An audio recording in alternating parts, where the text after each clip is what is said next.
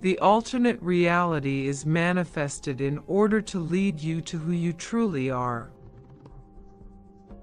To this end, the universal entity shapes the script of this great film that you believe is your reality and performs the role of each and every character in your world.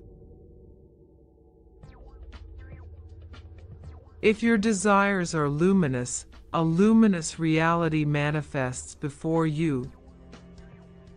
If they are desires based on the deception of separation, you will perceive a deceptive reality. Trust that you will understand, when you retune to Him, the great gift He offers you. All you see is yourself. Each person is a mirror of your mind. By rejecting someone, what you really do is reject your deepest fears projected out of you.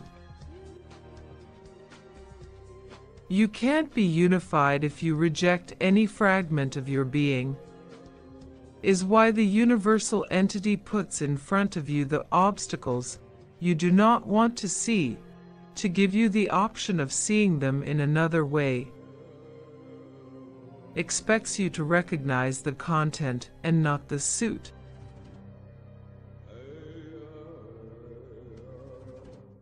Your light is in the world, but it is not of the world.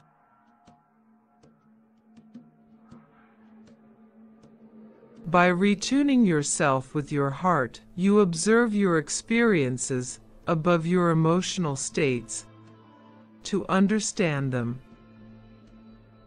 Through me, I show you how those emotions are not outside, but in your unconscious.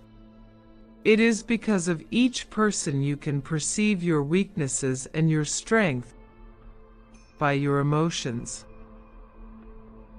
In the face of a negative emotion, appreciate the gift that is given to you. Observe what you feel and ask yourself, How do I feel?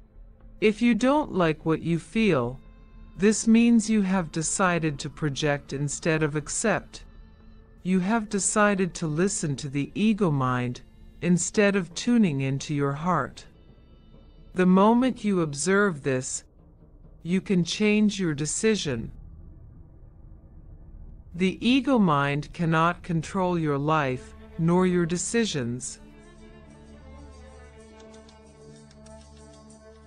By accepting every aspect of your life, you are accepting every part of yourself that you had previously rejected.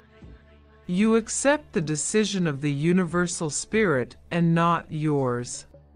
Remember that everything is molded by Him. You let go of all interpretation, all judgment, and just live in peace. You trust that He knows what's best for you. When you do not do this and allow your emotions to dominate you, you are only rejecting your perceptions, making painful judgments, and as a result, projecting attack thoughts, feeding only your ego mind. That's how you lose peace.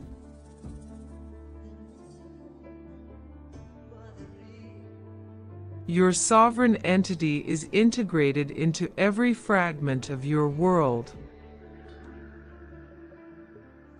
You are not this instrument of exploration, nor the life you are living. If you see others as bodies, you are seeing yourself as a body. Rely on your imagination to feel the essence of equality. All there is, is your own light that communicates with you, as guidance every step you take, if you let Him. You are always tuned to First Source. Through the vibration of equality, you can feel this symphony. You feel my presence because you have invited his presence into your heart. When heart and mind operate together through this symphony, The human instrument expresses a coherent intelligence that enables it to emanate and act in accordance with the consciousness of the sovereign integral. Then communication with me is fluid,